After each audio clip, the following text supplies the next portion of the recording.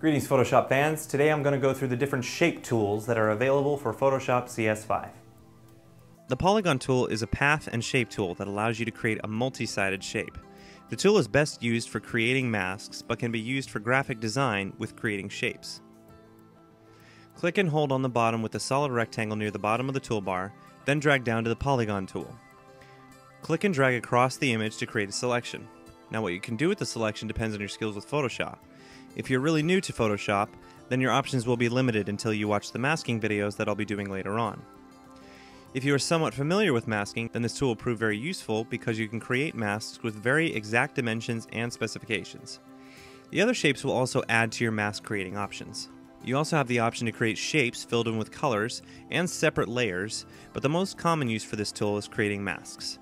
Now let's take a look at the above options panel. The first option, in the first section, will be the Shape Layers button. This allows you to automatically create shapes on your image that will be separate layers. The second button is Paths. This allows you to create selections that can be made into masks for image manipulation. The third is Fill in Pixels. This will simply create a shape that is filled with a color and is uneditable. The second part of the top options panel allows you to quickly swap between different path creation tools. This shows how the pen and the shape tools are united as one main function. Using all of these to its maximum potential allows you to create very precise and controllable masks, making for very easy photo manipulation.